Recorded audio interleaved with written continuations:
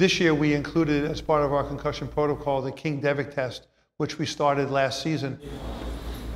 When the athletes are removed from the field with concussion symptoms, we then give them the King Devick sideline test. Basically, with this test, it's all done on the iPad. Right at the game, if you see a kid take a hit, this is just a way of getting an objective measure in minutes on did they really take a hit, how bad's the hit, and are their scores down from their baseline. When we start the test, we are going to see several screens that look like this or something similar to it. It has lines with numbers. You're going to read the numbers out loud to me across like a book. Three, seven, nine, four, six. This can all be done on the sideline uh, with an iPad. Four, six, five, two. And really, it's an attention task. Five, four, one, eight, zero, four, six, three, five, nine. When they do the King Devick test, we try to put them in an environment that's a little bit noisy because that's the environment they're going to be in on game day. Next. So we want the athlete to get used to that. Once you have an injury, you read the numbers again and you see if your speed's off right on the sideline. Four, three, five, two, seven. Okay, and you're done. All right, thanks. We don't put them back in the game prematurely. If they just don't have that baseline score on the King Devick test, our doctors are holding them out. Three, one, four, three, five. I think if we are the stewards of young men that come to our program and parents are going to entrust us with their most prized possession, their sons, that we have an obligation to make sure that we're doing things the right way. I think that's first and foremost. But I will tell you that it was tough for me as a college football coach and a father of three to see a piece on HBO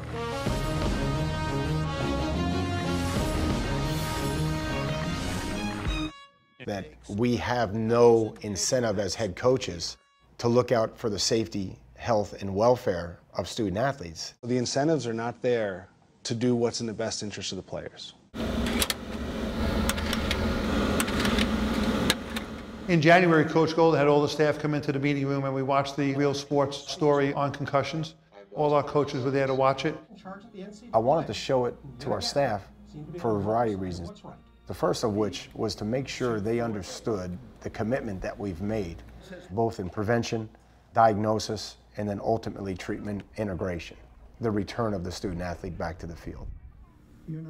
Number two, I just want to make sure they know that this topic is not going away. This subject is not going away. And it's not just about being reactive, it's about being at the fore of this in college football, which I think we are. When it was over, Coach Golden asked me where we were at as far as our protocols and our educational athlete. And I felt really good to answer the question by saying we're ahead of the, we're ahead of the curve right now um, because of what we do here at the University of Miami. When the piece was over, one of the leading advocates for concussion safety and someone that challenged whether or not we were doing it the right way at the collegiate level, Chris Nowinski, I wrote him and I, I just wanted him to know that there are people that have open door policies, that have the right protocols, and that are trying to do it the right way. And we do have challenges. There's challenges inherent in this game, uh, but we've learned how to manage them better.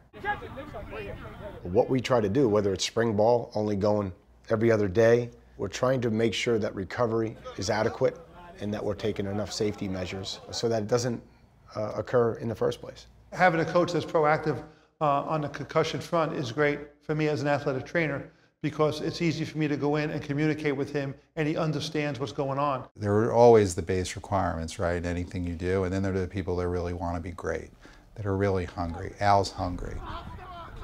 He wants to know that his players are being treated as efficiently as possible with the highest level of care.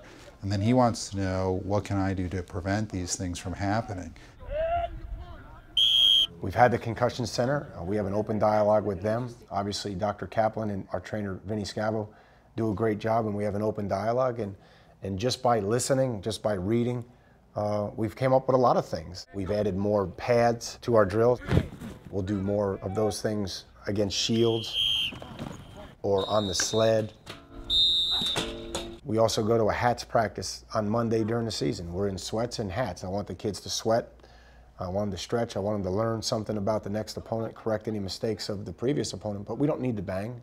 Ice treatment lunch. Okay, back for meetings at 2 o'clock. The real sports episode on concussions that originated in college football, we're grateful to them for the work that they're doing in this field because it's really helping us change how we think and how we conduct practices and how we coach.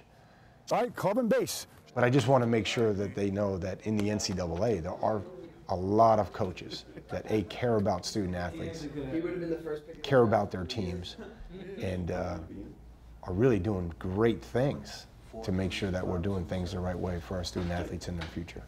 You are done. Good job. Is that everyone? Uh,